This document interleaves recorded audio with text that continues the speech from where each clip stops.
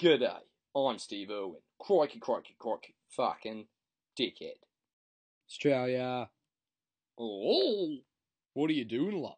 Look, you know I'm dating Buzz, but I want to suck your dick.